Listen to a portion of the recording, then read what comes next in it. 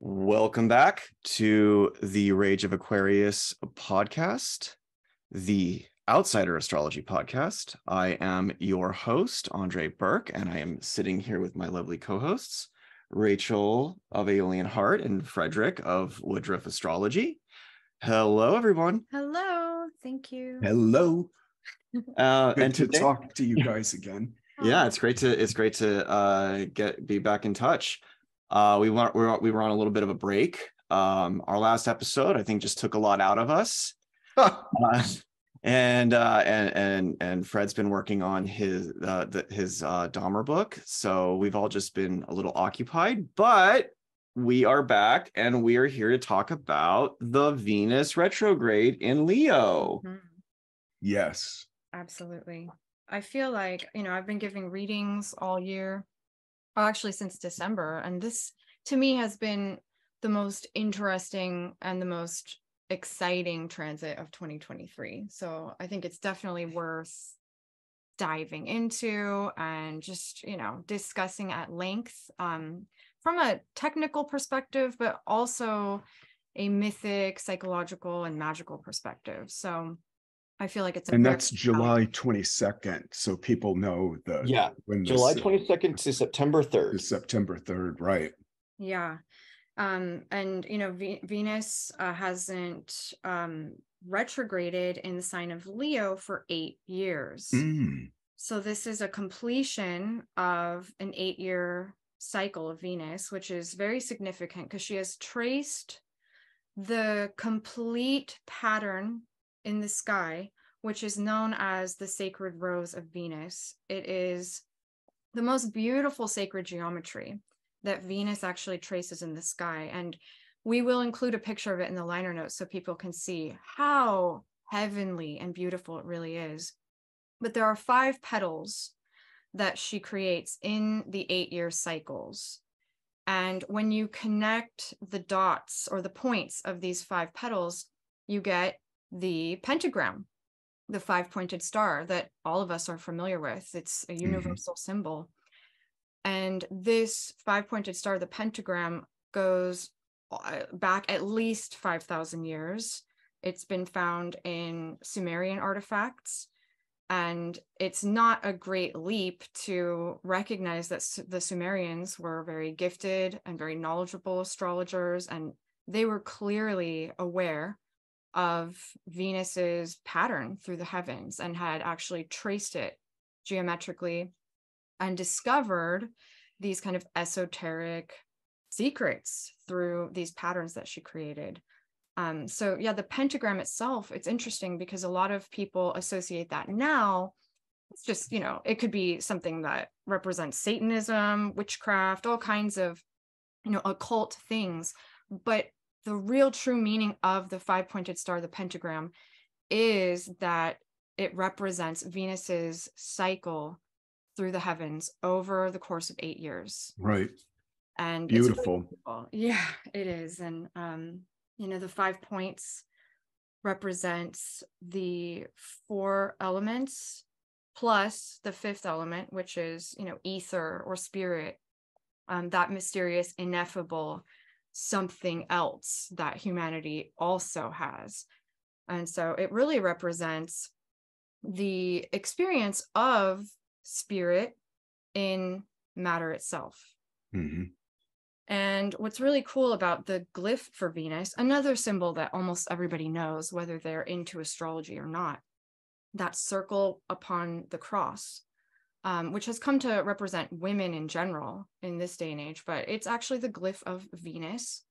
And that circle sitting on top of the cross actually reads as the circle of eternal spirit sitting on top of the cross of matter, the cross representing, again, the four elements that this material world is created from. And so it shows us that spirit is attracted into the world of matter through the promise of love and beauty. And that is the quintessential meaning of the planet Venus from an astrological perspective, an alchemical perspective. That's the esoteric influence of Venus attraction, magnetism and specifically using the forces of love and beauty to bring or to draw spirit into a physical experience. So right. I think it's mirrored too in especially the Waite version of the tarot when you look at the pentacles Mhm. there, Mhm. that five pointed star, and again that immersion of spirit into matter exactly. that we associate with the earth element. Um, but matter, it's weird, it always gets separated from spirit because of the mind's nature to polarize.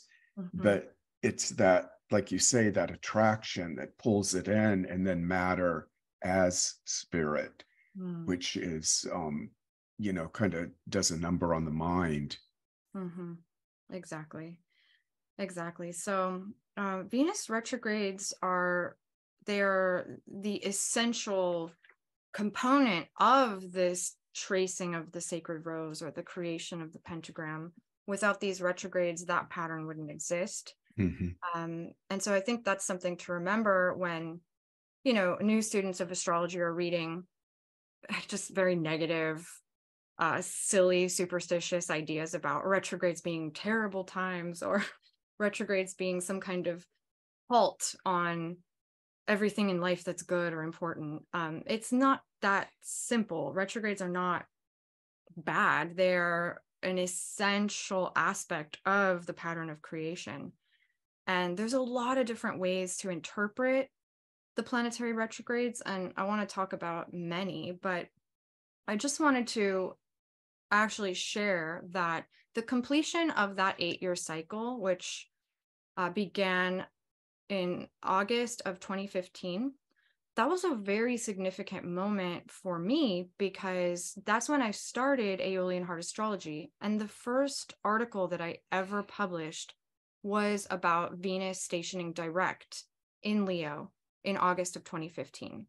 Wow, interesting. Yeah, and I I was I was sort of aware of what I was doing, but I also like didn't quite realize the uh, sort of transformation that had taken place in the house where Leo falls in my chart, which is the ninth house, ninth house associated with publishing, teaching, writing. And so I um, unwittingly started with that Venus retrograde. I unwittingly started this, you know, new writing career, teaching career. And it was a surprise because I had thought that what I was doing was becoming a college professor. That was what I was consciously aware of. That's what I was trying to do purposefully. And my life took a completely different turn. And it was in perfect alignment with that retrograde through my ninth house and then mm-hmm. Venus's reemergence as morning star. And I was suddenly inspired for the very first time to write my own article and publish it and share it. And I had never done anything like that before. And it wasn't peer reviewed. That's right.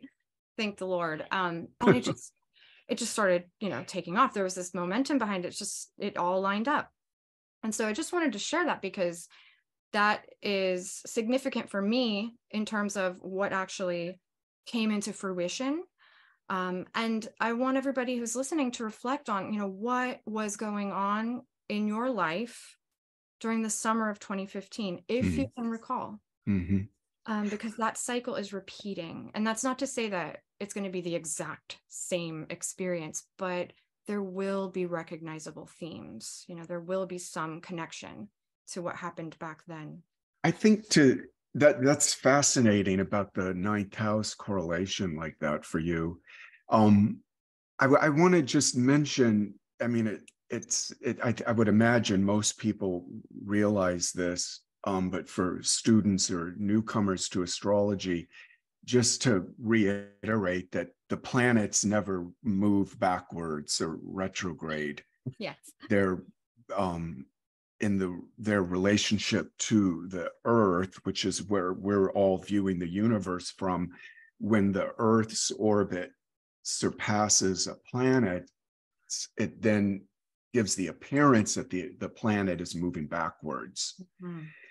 Um but you know i think most of us know that but just wanted to put that out there It's like that And then- joke about Mama tomato, Papa tomato, and baby tomato. Baby tomato falls behind. Papa Tomato squashes him and says, "Ketchup." Yeah. Thank you, Andrei. That's good. Um, and, and then I, a quick footnote just to the notion of retrogrades, like you were talking about being negative or having an ominous sort of uh, taint. Um, my experience is that th- that isn't the case. And also, my experience is that the traditional uh, keywords that are brought up with retrogrades, like redoing, reevaluating, revisiting, rewriting, Mhm. I personally, and a lot of work as well with my clients, I don't haven't really experienced that kind of literal uh, interpretation of the retrograde. But that's just my experience, you know.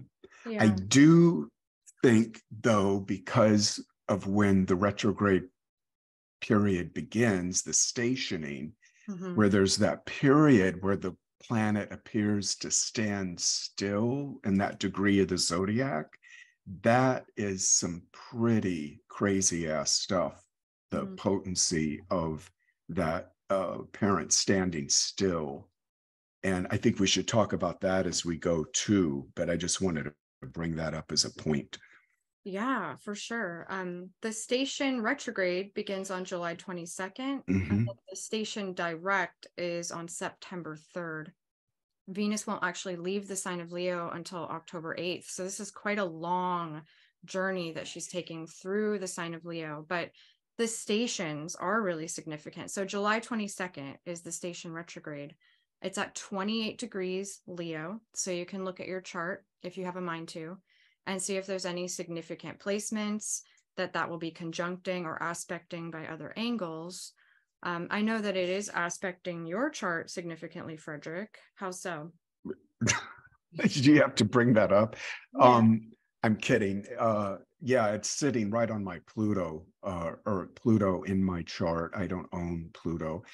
Um, so even though a Pluto and Leo person might think they do, but um, yeah, that's that's where it's sitting. And I think anyone that reads my Substack, they've noticed recently that I've written quite a bit about these 28, 29 degrees of, you know, any of the signs and mm-hmm. how power pack those are, you mm-hmm. know, just looking at what the essence of the sign is. And then as it's getting to that perturbating place where it's going to shift over the cusp is mm-hmm. very charged. So I think that brings another oomph element to this uh, stationing and retrograde phase.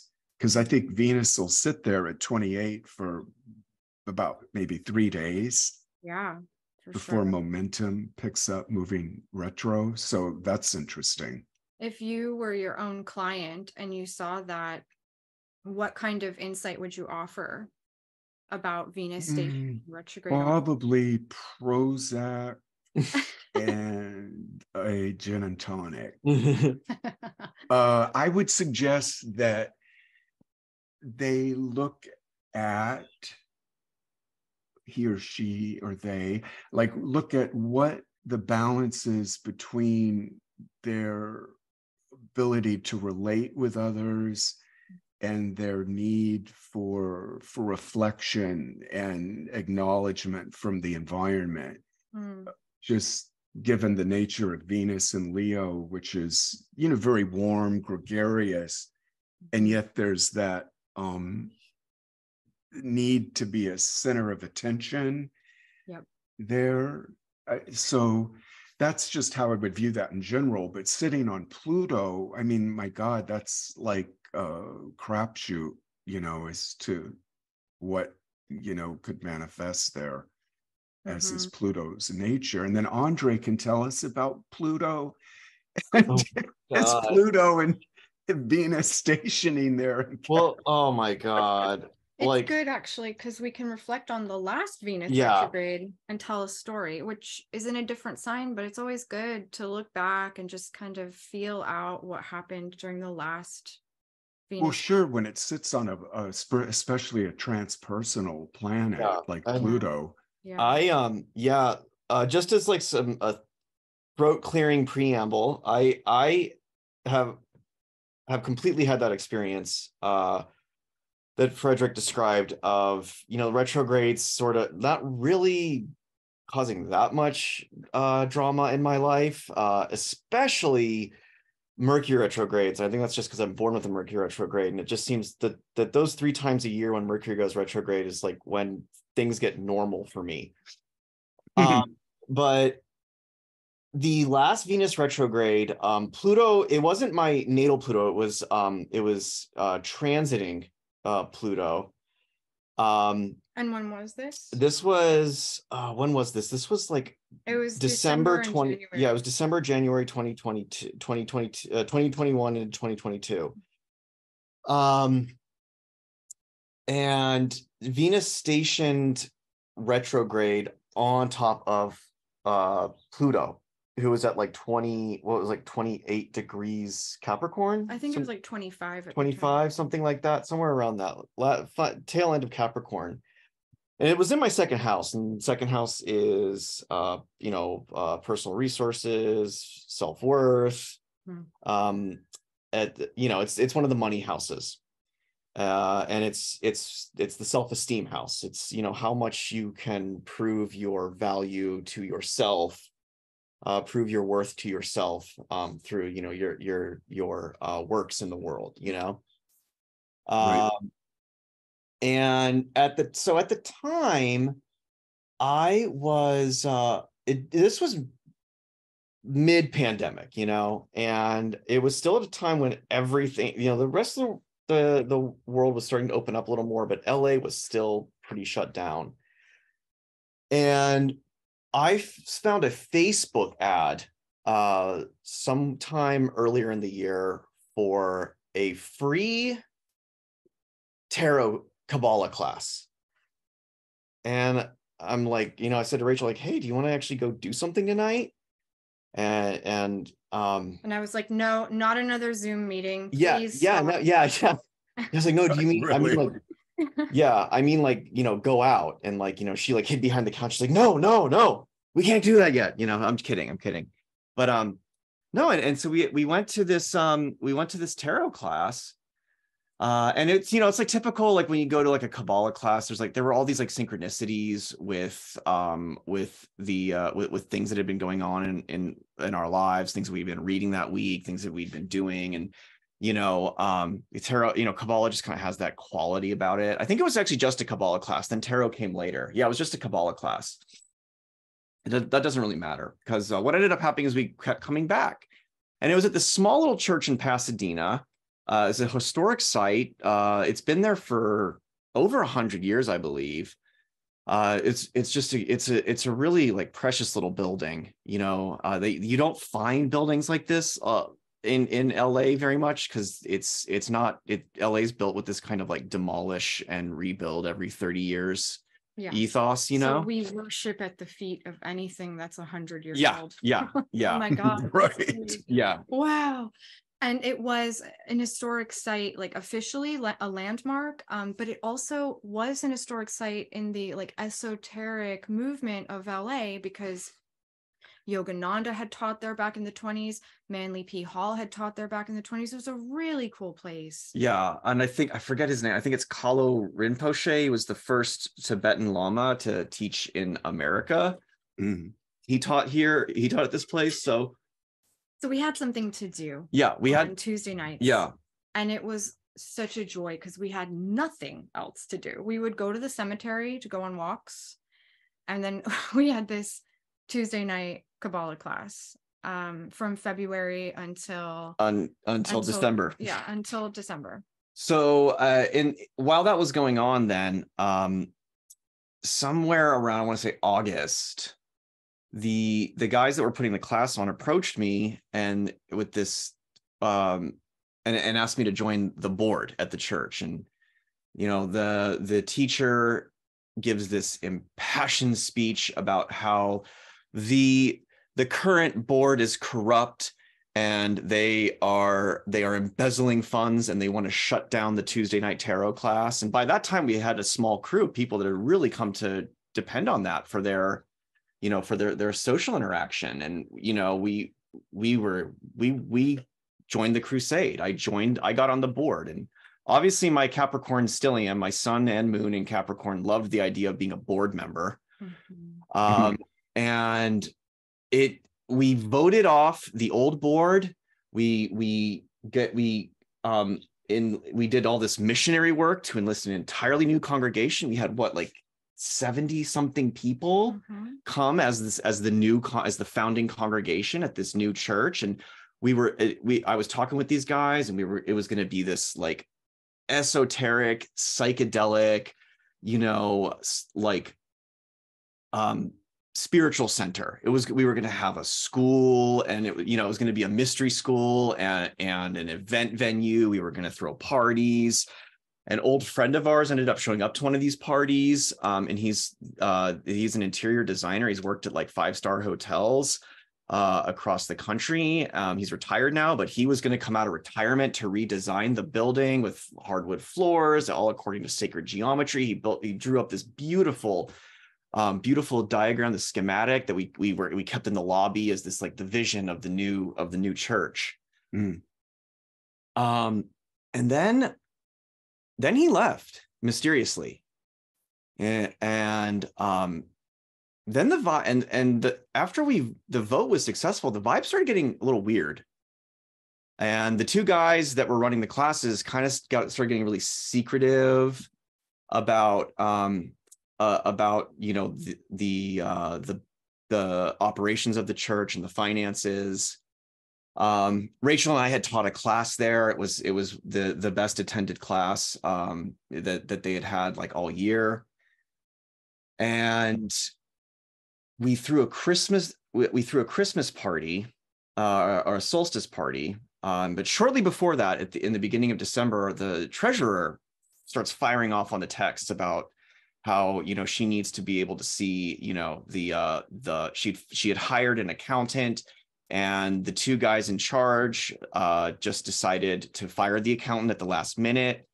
And she you know the there was this big drama through through the text and like i was just really focused like i want to have this this holiday party. It's been a really hard year for everybody and i just want some something where people everyone can come together and so shortly after the solstice party this was right when venus went retrograde um conjunct to pluto uh the treasurer goes down to the bank and uh, gets prints out a co- uh, to have her name taken off of the account, and they inform her that she cannot have her name taken off the account until there is they see the meeting minutes on uh, church letterhead saying that um, we all have we've all agreed to her resignation. And so while she's there, she prints out a um, uh, a bank statement, and she finds out that upwards of $28,000, possibly as much as $60,000 was missing and unaccounted for in three months. in three months. In three months. Mm. Um, the money that Rachel and I uh, raised about $500 with the class that we we taught, and uh, we just donated it to the church. That was never deposited. Uh, the secretary, uh, who was the second in command, uh, he had been running up hotel suites for him and his girlfriend, $400 steak dinners, $600 bar tabs. Uh, Wow. and and ATM cash. ATM cash withdrawals, like eight daily ATM cash withdrawals, cartons of cigarettes, uh, you know, like a, a four hundred and fifty dollar Bevmo, um, Bevmo It uh, was tr- uh, Fear- expenditure. Yeah, and Loathing It in was- San Fernando. yeah, it was fear uh, in San Gabriel. Yeah, it was fear and loathing in the San Gabriel Valley. It was yeah. God. So yeah. What, uh, how did like, so the, how, what do you make as that connection with the, well, first of all, I want to say it's interesting in a micro level to look at the uh, Sabian symbol for that degree in Capricorn, because it's a, it's a woman reading tea leaves and that, you know, the symbolic, the Mhm. meaning of that symbol has to do with the need to see beyond the obvious and Yeah. into the deeper unseen Yeah, and that uh, levels of things. So yeah that and that is seems- that's exactly what happened because then it resulted in a, a drama that just lasted until the end of the venus retrograde Mhm. where we i we find out that these guys were not actually they were they were brought in as members of the uh, of the church um, and and brought onto the board through a, a, former member who had made a sizable donation in in his will um half a million dollars. yeah half a million dollars and um they actually weren't members of this church there was actually a congregation at this church that had that's been there. Uh, some of some of some of them have been there since they were born back in the 1920s. So almost you know eight, like 90 years. You know, mm. um, they were they, and they were all just a bunch of blue, you know, just just a bunch of like really sweet uh uh senior citizens you know it was it was not a cool scene at all and they were all really you know susceptible to manipulation and flattery and um, basically what these guys had did is is they they conned their way into this church and then they uh, used some kind of legal method because there were there were misappropriated funds they the you know it was it was kind of like a battle of extortionists um, the previous uh, president uh, of the board was was um, i don't know just doing some some some basic you know like white collar shit uh, and she wasn't even making that much. But these guys were able to get uh, like a a restraining order against the former mm. board for conspiracy to commit fraud, and that's how they brought us in. Essentially, they they stole this church from these from these elderly people like you know this they stole their their like new age this the new age their new age book club from them that's because that's pretty so, much church actually was so so how did you like see this as you know the way it interacted with that part of your chart well like, do you know I mean, I mean? I, was really high on self-esteem. I thought i was really doing a good thing. You know i thought i was really i was i'm i'm a board member now. I have like a distinguished position. Um furthermore i mean it's it was about you know it was the whole issue was surrounded money and personal resources you know? Um so and it just sent me into such a dark hole because like I just started questioning my discernment. I I you know all of the the self-worth that I had um that that I had uh, you know built up all the self-esteem all you know uh the ego that I got you know the the puffed up ego that I got uh for for doing such a good thing and building community um and I do not have like a very community heavy chart you know like I'm I'm real really like in that uh you know, in, in that uh, southeastern quadrant, you know. Um, uh, so it just it it I spiraled into such like such a depression after that because yeah. like I said, I was just question I doubted myself so much. You know, how could I let these guys, you know, just uh, you know, use use abuse my trust and use me this way and you know, you feel dirty when you get when you get conned like that you know it it really it's a blow to your self-esteem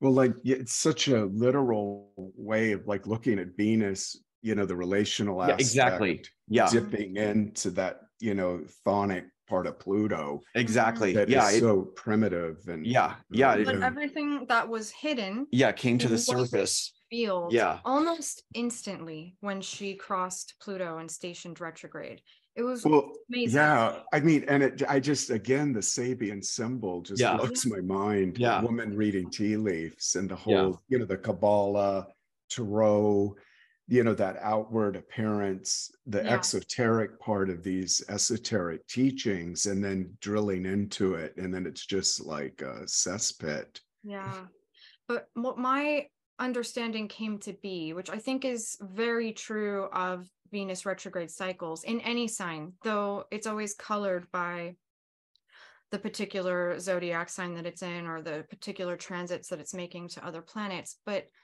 there is this need that all of us have to check ourselves before we wreck ourselves, to really tune back into uh, the deepest part of ourselves, to assess whether or not are we actually living out our true desires? Is this our true will? Right. is this actually something that we want to be pouring our heart and soul into? And ultimately that whole experience was rooted in the trauma of the pandemic the uh, neurosis caused by being locked down and having no social life and the rose colored glasses that we put on just because we wanted so much to have something to do and we wanted to believe the best. right. Um, but no, like when all is said and done, after we got over the sting, it was like, wait a minute, Andrei and I don't want to, we don't want to build a church. What are we doing? This actually did not represent where we really want to be heading in life, what we really want to be investing our energies into. And so we were basically living out somebody else's desire, not our own at all. And one of the things that I really feel is so potent about Venus retrogrades is that you actually do have this soul searching experience that does purify your desires or even lessens the amount of desire you have because Mm. not like in the buddhist sense like desire is powerful and it's important and it's what venus represents is our longing to grow to connect to to harmonize to collaborate but um, if you have too many desires or they're not really yours you're living out someone else's ideas you are totally scattered and disempowered and demagnetized you know so mm-hmm. your your force mm-hmm. of attraction your your power to focus your power to make things that you really care about happen to nurture and cultivate the things you really love. That gets dissolved and diluted if you're scattered all over the place stretched in too many directions at once or you're caught up in some kind of toxic bind with something that actually doesn't represent what you really want and so Right. Yeah. So the it seems the retro the Venus retrograde cycle it it's like a fine tuning of Mhm. what a person you know it's sometimes by via negativa like not this not that I don't Mhm. want a church I don't you know Yeah. and then the actual entryway into what someone really does value and want is uh, probably much clearer yeah because I, I think people don't like with Venus, they often think that, well, it's in this sign. And so these are all of these qualities, you know, that I have or value, but it's actually more like a beckoning into that particular, you could call it school of Mhm. the beauty or value that, you know, th- that the magnetic draw that Venus really represents you know, whereas Mars is more of a pushing and propelling, Mhm. Venus is attracting, pulling you in Mhm. to those qualities. Um, exactly so yeah. That's been the the two most potent venus retrogrades that i can recall where i i really feel like i learned a great lesson were the one that i mentioned august 2015 where consciously like my deluded mind thought i was you know starting a a teaching career in academia. But that too was a completely false desire. I didn't really want that. I was just doing that because i thought that i had to. Mhm. It was the best idea I could, come up with. It was motivated by not true desire not heart and soul. It was motivated by uh the need to feel like i was doing something that could lead to a proper adult profession that had a regular income and had some kind of dignity. You know i was just trying to check a box that i know that i was supposed to check like start a career. Right. That was very hard for me. I didn't know what I wanted to do for a career. I knew that I wanted to teach. I loved to write. I loved literature. I tried really hard to conform my true desires to what was available to me at the time, or at least what I thought was available to me at the time. And then, you know, magically, miraculously, Venus stations direct in Leo, and boom, I'm just moved by this spirit to write an astrology article, and the rest is history my desires became concentrated, purified from those other ideas that were all just kind of weak, false, scattered. Right.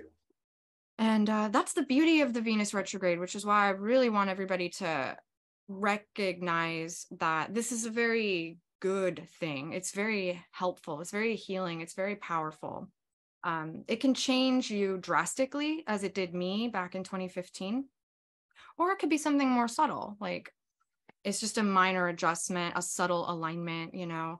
Um, we're not always so off our path as i was back in 2015 or as andrei and i were in 2021 like Mhm. we were just off our path. We were having a side quest. And um the the end result of that venus retrograde in capricorn was that we ended our side quest and got back on track and it was really good for us because now i think about being in 2023 and perhaps still having these like awkward obligations to that organization and it turns my stomach which tells you a lot about where I was coming from at the time. I was in a state of kind of desperation. I was Yeah. Well, it's like the that that toggling between attraction, repulsion, you know, something seemingly attracted to then flips and then Yeah. there's that that repulsed element that yeah.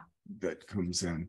I think you you mentioned like talk you you're going to talk some about um for the listeners like a sort of exercise that they could do um related to this Venus retrograde and I I I take it that's like looking at it what house it's occurring in and then if it's also touching on you know planets in a significant way through that uh, July 22nd to September 3rd phase. Yeah. Um, wait, I'm not even what- getting that complicated. Um, although I if you do know your house and if you can calculate the transits it's making to your planets, that's a really great thing to include. Um, but no, the exercise or the practice, I guess, that I'm I'm gonna share is something that's based on the idea that the retrograde cycles of all the planets, but certainly Venus as well, resonates with the model of the three phases of alchemy. Um, in alchemy, there is first the black phase, that's where things are let go of, released, decompose, rot. And that finally gives way to the albedo phase, the whitening, which is the presence of new life, light, inspiration, revelation. And finally, that white phase expands and comes into full bloom in what is called the rubedo, the red phase. But it really occurred to me that the three stages of alchemy could really be likened to the life cycle of a flower. And since we're talking about Venus and the sacred rose of Venus, Mhm. I thought it'd be really easy to understand. So, the first stage of this retrograde begins on July 22nd. That's when she stations. And between July 22nd and August 12th, this is akin to dead matter decomposing and fertilizing the earth. This is where old desires die. And that's what happened to Andrei and I. You know, when Venus was at the beginning of her retrograde, our old desires died. We no longer Right. had a place in this organization. We no longer had a place at this church. We no longer liked these people. Um, so you let go of the things that are standing in your way, that are causing static, that are completely misaligned. And this is probably why there's some negative connotations with the Venus retrograde, because when we are unconscious of the things that we're doing wrong in our life, and I don't mean moral, I just mean out of alignment, the things that we're wasting our time on or wasting our energy mm-hmm. on. Um, when you get confronted with the revelation, it can be pretty painful. It's painful to let some things go. It's painful to let your ego die.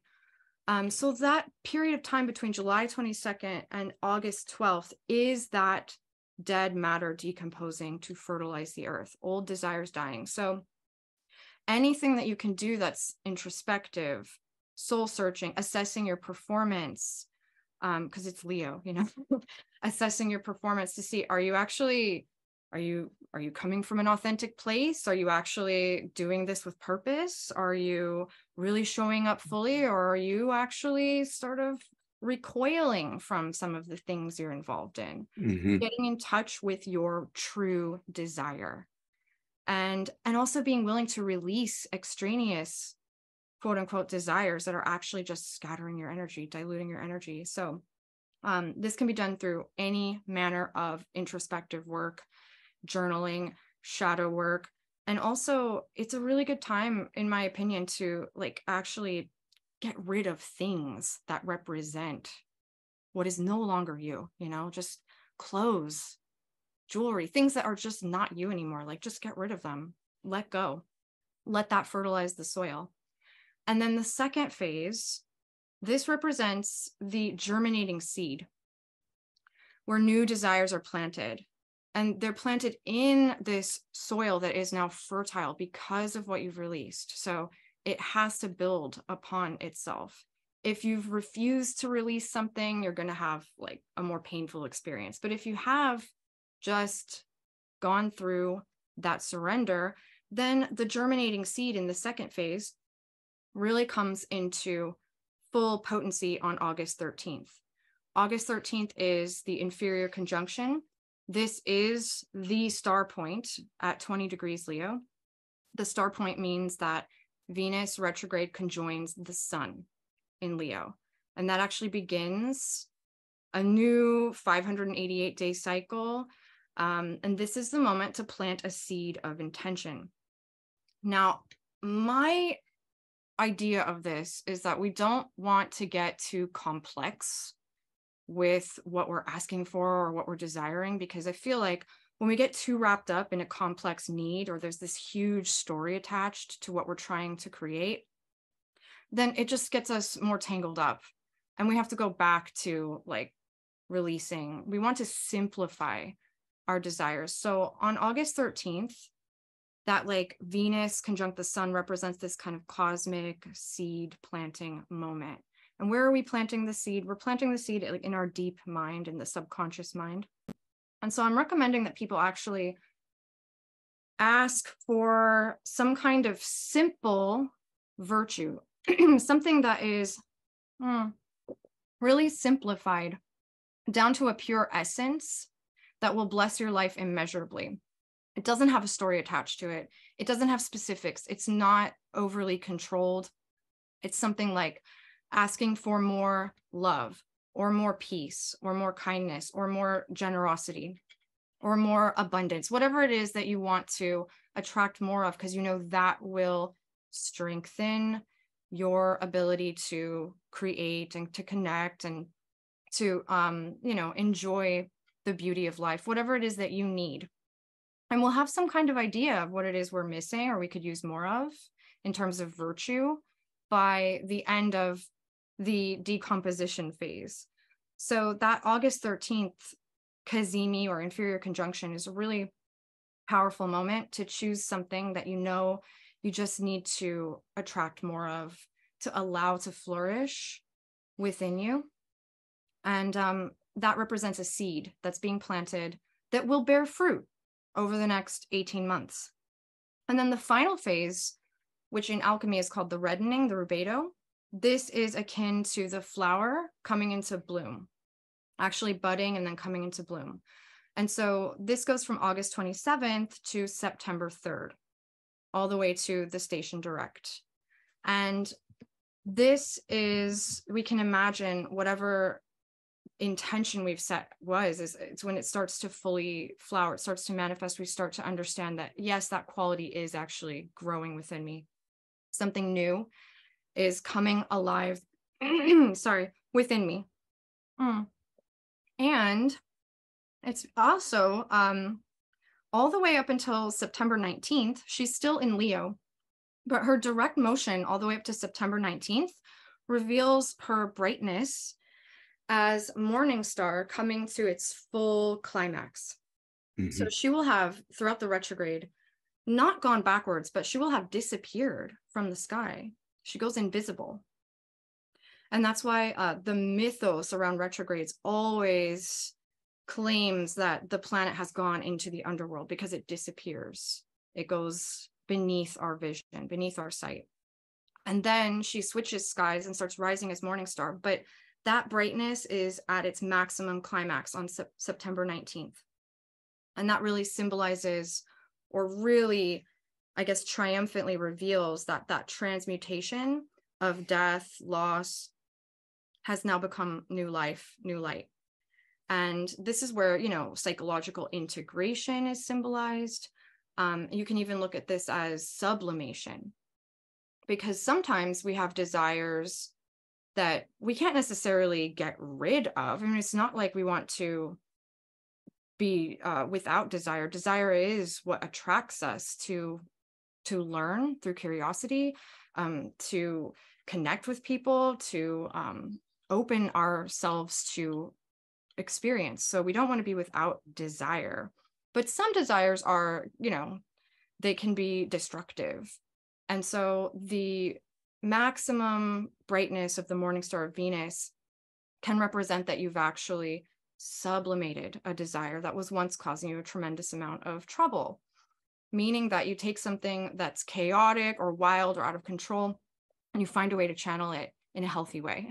like that's a real tremendous sign of growth, maturity, and of course, the completion of a great magical work.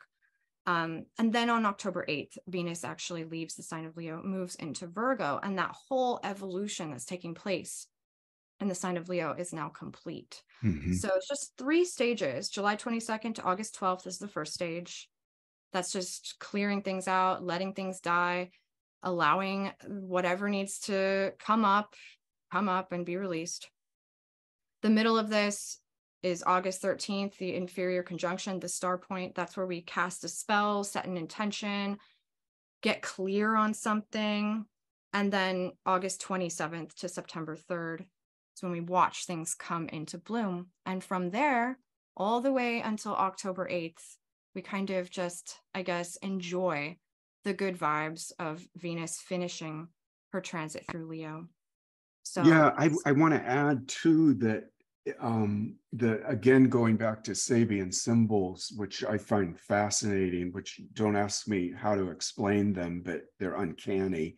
Mm-hmm. The one for this degree in Leo is very Venusian in mm-hmm. the sense that, well, the symbol itself is a mermaid emerges from the ocean waves ready for rebirth in human form. Perfect. So it's almost like that whole, you know, Venus retrograde uh, disappearance, reemergence cycle mm-hmm. personified in the actual Sabian symbol. Um, but I, the the Rudhyar gives this uh, specific meaning of a very strong yearning for conscious a conscious form of solidity. Mm. So something that might just be a dream or a passing fancy or that that work is actually done just like you were outlining here in the three parts of the exercise to really uh, assist something into manifestation exactly exactly so that's why I actually love retrogrades. Um, they they give us this ability to really purify ourselves, remagnetize ourselves, know ourselves better, uh, align ourselves, adjust things. Um, and I guess that's why people say review, revisit, redo. Um, but that doesn't quite get to the heart of like the right that's why those terms annoy me they're just kind of throwaway. Yeah exactly they're so, not really doing the deep looking or uh, work that's involved or understanding the type of process that's involved there. Exactly exactly so but and then if you want to add another layer to all of this you know wherever the house wherever leo shows up in your chart that house is going to be the center of the drama or the process that's unfolding. Um, and it can affect a lot more in your life. Like, obviously, starting my blog uh, created quite a shift that sort of spilled over into so many areas of my life, but it began the catalyst or the catharsis was centered upon ninth house themes in my chart. So if you want to look more deeply into your chart, if you are that kind of student, then I do recommend looking at the house very deeply to get a mm-hmm. sense of like what process is going to be unfolding and how can I best attune to that, align with that, become conscious of that. Um, and you know, you still may not understand because like I said, I I read the ninth house Venus retrograde back in 2015 totally wrong. I mean, I thought it was going to mean that I had some kind of transformation in my academic career. Literally like i was going to maybe try out a different school or you know get a position somewhere that i hadn't thought of yet. I really was stuck on a loop. And then throughout the retrograde without me i didn't do anything consciously. I didn't actually go through this process back then. It didn't occur to me it just happened. It just happened that just something within me died and then new life was reborn and new inspiration just hit and i'm on a new track. It's it's something that is very it's very helpful. It's fun to be conscious of and align with and go through the process with some level of awareness but i also have to say that it's not entirely necessary because these things are just happening like as is everything in life Mhm. like, yeah you're going to grow whether you like it or not but yeah looking at where leo is is good it's very helpful and then again if you're like frederick or many other people you might have planets in leo and venus will be touching that planet at some point because she's stationing at 28 degrees and then she's going almost all the way back through the sign so the likelihood of her touching that planet three times crossing direct going retrograde and then crossing direct again mhm. is very high. So any planets that you have in Leo are a part of this alchemical process. Mhm. Um, and you know, the themes of, you know, when I was thinking about just what is Leo like, you know, what's the sign of Leo like? What would be the dark black phase of alchemy with Venus and Leo? And the film that came to my mind was Sunset Boulevard just Mm. Norma Desmond all the way, just someone who has clung to the past, cannot let go, will not surrender, and has such deep, unmet needs for attention that have made her crazy and perverse. You know, that's Right. like, I think the kind of archetypal Venus retrograde in Leo, at least the Mhm. beginning, uh, the Mhm. beginning of the process. And so I'm going to watch that film between July 22nd and just for the catharsis, you know, because that's what art and cinema does. It, Oh my God. I just got a flash because I I uh just by chance watched this film last night and eh, my mind was fucking blown. Did you guys see Tar? No, not yet. No, I don't know. Oh, anything about okay. Yeah. uh, Put that into your Venus in Leo for the retrograde phase. Okay. You'll see why. I don't want to say anything about it because I, I just had fragments of uh, some ideas about it going in, and I was riveted for like two and a half hours. What's it And about? boy, was Cate Blanchett ever robbed an Oscar when they gave it to uh, that crazy ass film, Everything Everywhere Yeah. going into my brain hole. Um, yeah, this film, you will have to talk about it later, you guys, because I know you're cinema fans and stuff. right. like Yeah. Yeah. Great. Well, I think we got, I think we touched on all this stuff for the Venus retro. Any Yeah. other stuff to add or? Well, there's like the now quite popular association with this alchemical transit of the retrograde being described by the ancient Sumerian myth, the descent of Inanna.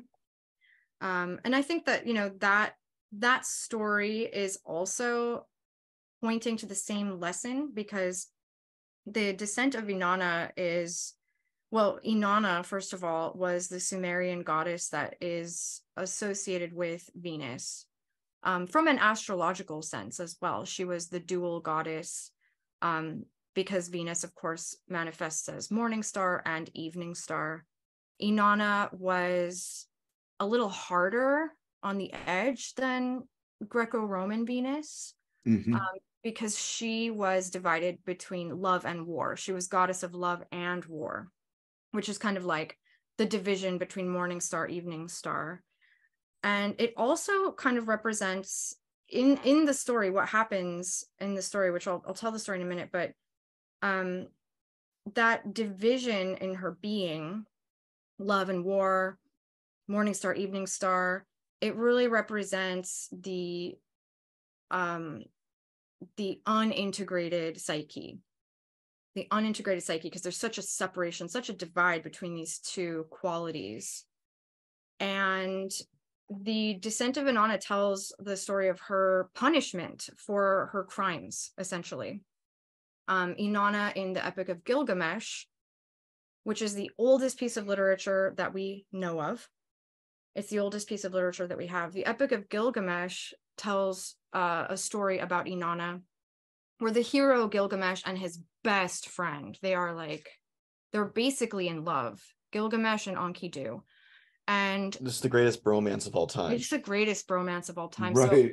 So Gilgamesh, to put it. he loves Enkidu. It's it's intense. And I guess Inanna, as I recall, approaches Gilgamesh. She wants to sleep with him and he rejects her for whatever reason. I don't recall why, but he rejects her. He doesn't appreciate the way she's coming on to him.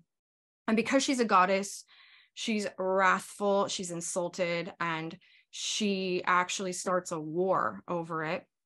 Um, she calls upon her father to provide her with uh, what is called the bull of heaven, which was actually a, a god that was uh, the, the her sister's husband. So she calls on her sister's husband, the bull of heaven, and this you know wrathful battle takes place and enkidu is killed and the bull of heaven is killed as well all in this you know lust for revenge against gilgamesh who scorned her. And um, so the descent of inanna is like i guess the it's the part two of what happened to this wrathful goddess after the fact. And so the um, bull of heaven being her sister's husband is dead. Her sister is the goddess of the underworld. She's actually the judge of the dead. And so Inanna shows up at the door to the underworld, knocks, and the guardian at the gate asks her, you know, what do you want here? And she says, I'm here for the funeral. I'm here for the funeral for the bull of heaven. So she's responsible for this god's death. She's responsible for her sister being a widow. And now she's showing up to come to the funeral. And so she's allowed to enter into the underworld, but she has to cross through seven gateways before she can get to the throne room where her sister is for the funeral.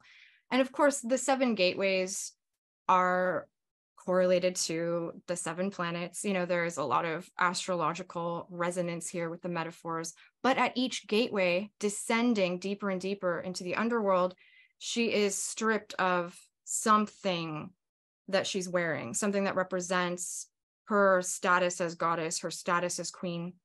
So, like, they take her crown, they take her scepter, they take her necklace, they take all of her jewelry, everything she's wearing, and finally, by this the seventh gate, they strip her naked. She has no clothes. She finally enters the throne room where her sister is queen and judge of the dead. And Inanna attempts to sit upon the throne as though she has power here. And so not only has she killed her sister's husband in an unnecessary battle, but now she's actually trying to assert power in a place where she doesn't have any.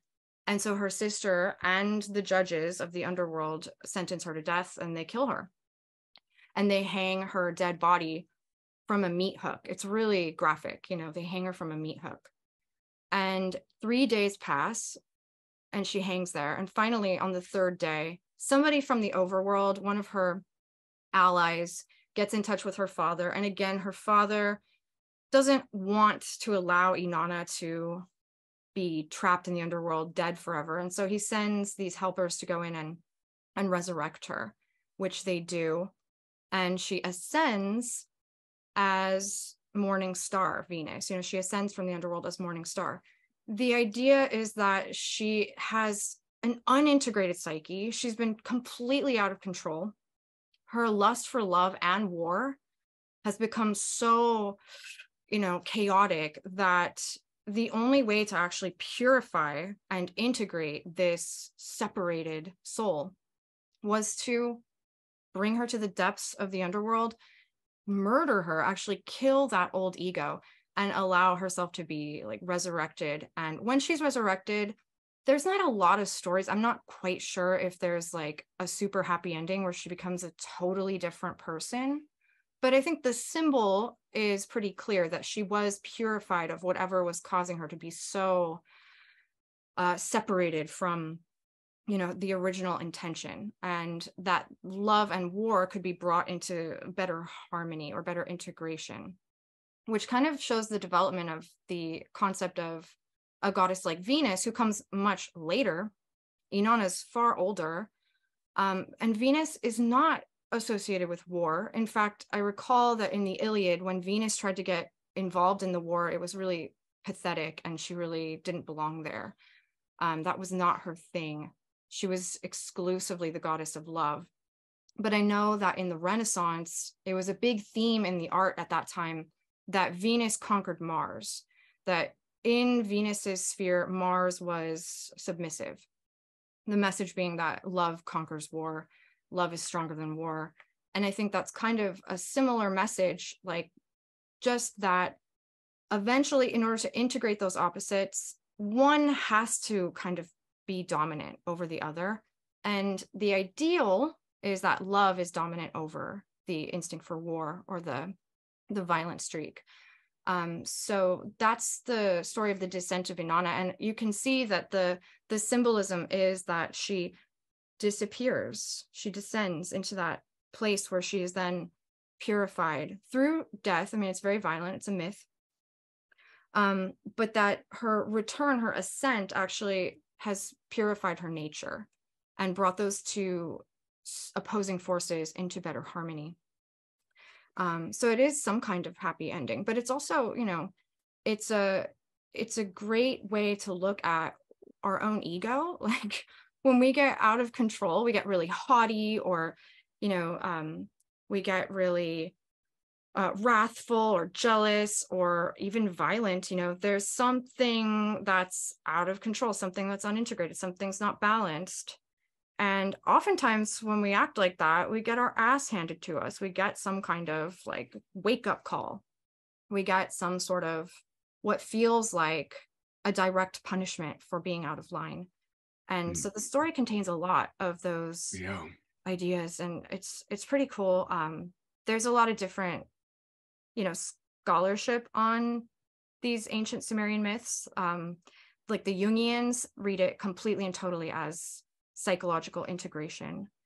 Um, feminists have their own take on it, but this is just kind of like the raw bare bones of the myth, and it is a part two of Gilgamesh. So if you don't know Gilgamesh, you'll feel more sorry for Inanna.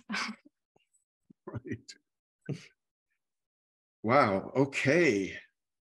I feel completely informed on every aspects of yeah. the upcoming Venus retrograde. That was potent.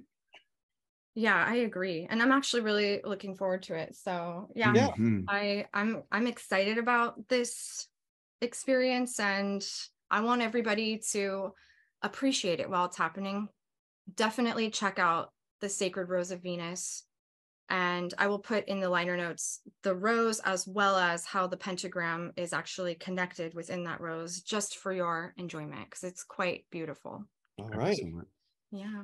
Well, thank you, Frederick. It was so nice. Yeah, and Andrei and Rachel, thank you. and thank you, everyone episode. out there in podcast land. Yes.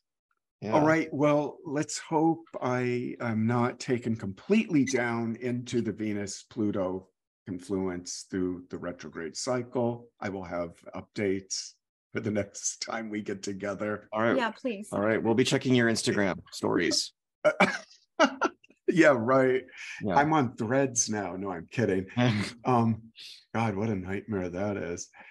Um, all right, you guys. Well, until next time, and to all our listeners, thanks for joining us again. And uh, stay tuned for updates through Rachel's site and my site, and that will clue you in as well as whatever you're following us with on YouTube about our next episode.